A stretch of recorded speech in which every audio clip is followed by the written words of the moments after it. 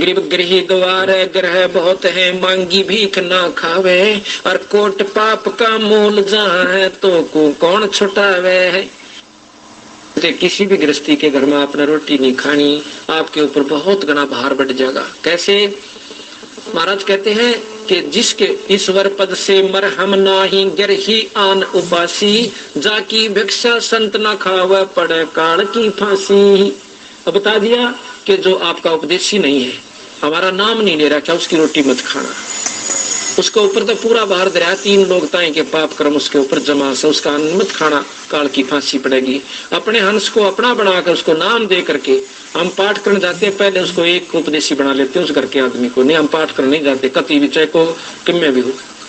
तो पहले उसके एक सदस्य को नाम दे देते हैं, फिर हमारा वहाँ पर पाठ करना रहा जैसे, जब हम पाठ करने जाते हैं। तो इसी प्रकार कहते हैं ईश्वर पद से, ईश्वर पद से मरहम नाही, गर ही आन उपासी। आन कह दूसरे। कबीर साहब ने छोड़कर और क्या है की पूजा करता, कोई माता की, कोई मसाणी की, कोई किसी वस्तु की, उस उपासी का, उस उपासना करने वाले हंस की, हम कभी भोजन नहीं खाना चाहिए।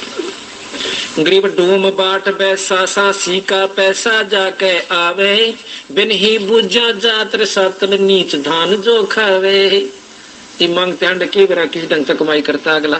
कहते इनका भोजन डूम, भाट वैसा सासी, और इनका भोजन जो खावेगा बिन ही बुझा जावा नरक में, उसने कौन छुटावे? जो नीच धान जो खावे, नीच का, नीच अन्न, नीच कमाई से किया हुआ नीच जाति से नहीं संपर्क यहाँ पे।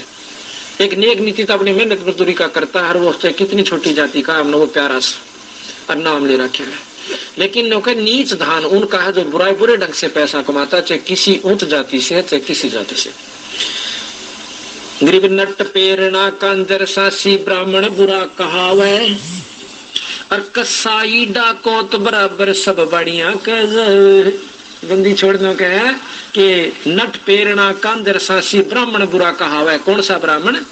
के लेकर सारे धन और फिर बढ़िया के बेच के अब ठाठ तो दारू पीवे का अपने कौन बेन पाले? वो बुरा कहावे।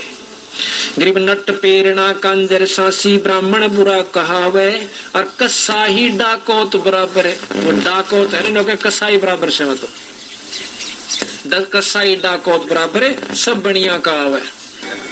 साथ साहिब।